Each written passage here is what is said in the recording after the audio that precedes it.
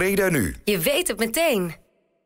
Zeven kunstenaars die zelf een nieuw initiatief hebben ontwikkeld. Ik zit hier tussen twee van hen. Stel jullie even voor. Mijn naam is Jordi Koevoets. Peter Bouwmans. En kunnen jullie even kort vertellen wat jullie hier doen? Want we zijn hier in een oude conservenfabriek. Ja, in de wijk, eh, woonwijk Belkrum in Breda. Daar staat een eh, loods leeg. En eh, wij kwamen op het idee om daar eens een mooie grote expositie in te organiseren. En nu hier een expositie met zeven mensen. Eh, kun je er iets over vertellen wat hier allemaal te zien is? Het is echt een beeldende tentoonstelling. Eh, er zijn hier en daar wat kleine schilderijtjes te vinden. Maar we zijn eigenlijk ervan uitgegaan, omdat we zo'n grote open ruimte hebben, dat we de ruimte vullend zouden kunnen maken. Maar juist om die hele grote ruimte te benutten, moest er ook veel beeldend werk komen. Dus echt ruimtevullende werken. En eh, dat, is, dat is gelukt. Dat grote groene ding wat doet denken aan Lego. Kun je daar iets over vertellen? Dat is een werk van Joshua. Hij maakt altijd van dit soort grote sculpturen. Haast grafisch te noemen, maar hij, hij, door één bepaalde toevoeging aan, aan een muursculptuur wordt het een organisch geheel. Wel heel spannend in de loods. Ja.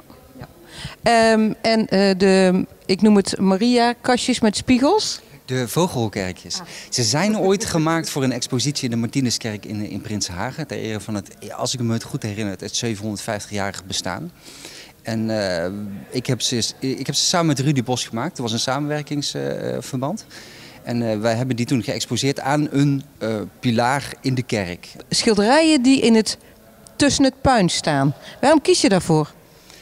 Dat had eigenlijk meerdere redenen. De, de, de eerste reden was dat ik heel erg veel vertrouwen heb aan- in het publiek. Dat de mensen zelf wel kunnen zien wanneer iets kunst is of wanneer iets niet kunst is. Ook als het in een positie wordt geplaatst waar dat heel moeilijk te herkennen zou moeten zijn. Eh, ik vind het zelf een ontzettend mooie manier van presenteren, laag bij de grond. Het is, het is doe maar normaal en, en, en, en geniet er maar van. Dat is eigenlijk de boodschap. Eh, ja, dat is de boodschap. Eh, en dan nu het, het prachtige ontwerp waar wij eigenlijk naast zitten. Wat nogal in het oog springt. Ik heb het wel eens eerder voorbij zien komen. Dat kan kloppen volgens mij. Dat kan kloppen. Ik heb het eh, twee jaar geleden in Amsterdam mogen exposeren, in een metrostation daar. En eh, daar werd het verboden. Het ging te ver eh, voor, vond de organisatie. En toen heb ik het later nog in de Houtmarktpassage bij Galerie 3. En, en hoe reageerde het publiek daarop? Want ik kan me voor, het roept wel wat op. Bij de eerste keer toen ik aan het installeren was, kreeg ik duimpjes omhoog.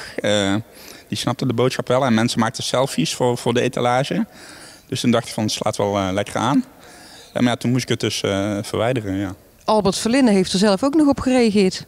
ja, het werd dus verboden en Albert Verlinde wilde voorkomen dat mensen hem daarop zouden aanspreken. Dat hij censuur had gepleegd, wat dus niet het geval is. Maar in Echte Boulevard heeft hij daar uitleg aan gegeven.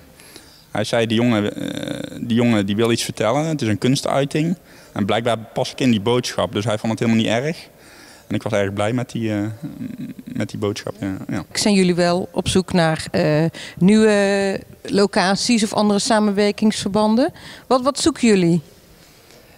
De, de reden dat we dit hebben gedaan, ik was al van plan met Jordi om, om, om ergens te gaan exposeren. En we hebben dit ook echt aangenomen als de mogelijkheid om te kijken van, eh, kunnen we dit aan? Kunnen we kwali- kwalitatief in Breda zoiets wegzetten? En eh, we kunnen hier volmondig ja op antwoorden. En we hebben ook zoiets van, nou, dit, dit, dit is een prachtige showcase of een, een proefopstelling geweest om een goede tentoonstelling neer te zetten. Een kwalitatief goede tentoonstelling.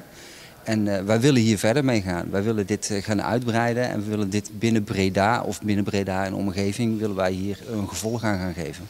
Oké, ehm, waar kunnen mensen die daar interesse in hebben of die iemand kennen die, dat, eh, die jullie daarbij zou kunnen helpen, waar kunnen zij zich melden om contact met jullie op te nemen? Facebook, altijd Facebook. Dank jullie wel. Breda nu. Je weet het meteen.